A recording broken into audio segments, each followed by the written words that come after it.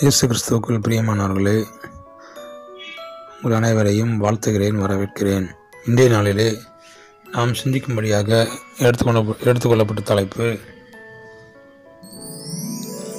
நிந்தனையா? இதற்கு ஆதாரமாக இசைக்கியல் முப்பத்தைந்தாம் அதிகாரம் பன்னிரெண்டாம் வசனத்தை வாசிக்கிறேன். உன் நிந்தனைகளை எல்லாம் கர்த்தராகிய நான் கேட்டேன். இசைக்கியல் முப்பத்தைந்தாம் அதிகாரம் பன்னிரெண்டாம் வசனம். நிந்திப்பது கொடூரமான ஒரு செயலாகும். பலருடைய நிந்தனைகள் நெஞ்சே வெடித்து விடுவது போல இருக்கும். காரணமில்லாமல் நிந்திக்கிறவர்களையும் அநியாயமாய் நிந்திக்கிறவர்களையும் காணும்போது உங்கள் உள்ளமெல்லாம் கசந்து போய்விடுகிறது. ஆனாலும் உங்களுடைய நிந்தனைகளை அறிந்திருக்கிற தேவன் உங்களை ஆறுதல் படுத்தி அரவணைக்கிற அதே நேரத்திலே நிந்தனைகளையும் ஆசீர்வாதமாய் மாற பண்ணுவார். பாருங்கள் கோலியாத் இஸ்ரேல் ஜனங்களுக்கு விரோதமாய் எழும்பி நிந்தித்தான். இஸ்ரேவேலின் சேனைகளையும் சேனைகளின் கர்த்தரையும் நிந்தித்தான். கர்த்தர் அந்த நிந்தனையை கேட்டார். தாவிதை ஆவியின் வைராக்கியத்தினால் நிரம்பும்படி செய்தார். ஒரே கூழாங்கல்லை கொண்டு ஈட்டிகளோடும் தடைகளோடும் புறப்பட்டு வந்து நிந்தித்த கோழியாத்தை வீழ்த்தினார். அந்த கர்த்தர் நிச்சயமாகவே உங்களுக்காகவும் யுத்தம் செய்வார். மற்றவர்கள் உங்களை நிந்திக்கும் போது ஒரு நாளும் கசப்புக்கு இடம் கொடுத்து விடாதிருங்கள். உங்களை நிந்திக்கிறவர்களுக்காகவும் உங்களை துன்பப்படுத்துகிறவர்களுக்காகவும் ஜோம் பண்ணுங்கள். ஒரு கிறிஸ்தவ குடும்பத்தினர் புதிதாக ஒரு வீட்டுக்கு வாடகைக்கு போனார்கள். அங்கே அவர்கள் தினமும் கர்த்தரை துதித்து பாடி ஜெபித்தார்கள். இது பக்கத்து வீட்டாருக்கு எரிச்சலையும் கோபத்தையும் தந்ததால் அவர்களை தூஷித்து தங்கள் ரேடியோவில் சினிமா பாட்டை சத்தமாய் போட்டார்கள்.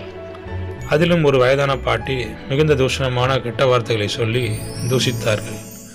ஆனால் இந்த கிறிஸ்தவ குடும்பத்தினரோ அதை கர்த்தருடைய பாதத்தில் வைத்து ஜெபித்து அந்த குடும்பத்தினரை ஆசீர்வதித்தார்கள். பல வாரங்கள் தூஷணங்கள் தொடர்ந்தன. பிறகு ஒரு சில நாட்களாக பக்கத்து வீட்டு ஜன்னலிலிருந்து எந்த சத்தமும் வரவில்லை. தூஷித்த பாட்டி இந்த கிறிஸ்தவ வீட்டுக்கு வந்து கதறி கதறி அழுதார்கள். என்னவென்று கேட்டபோது நான் உங்களை நிந்தித்து தூஷித்தேன். என் வாயிலே கொப்பளங்களும் கட்டிகளும் வந்தன. டாக்டர்கள் இதை கேன்சர் என்றும் அறுவை சிகிச்சை மூலமாக நாக்கை அப்புறப்படுத்த வேண்டும் என்றும் கூறி கூறிவிட்டார்கள். எனக்காக ஜெயிப்பீர்களா என்று கேட்டார்கள்.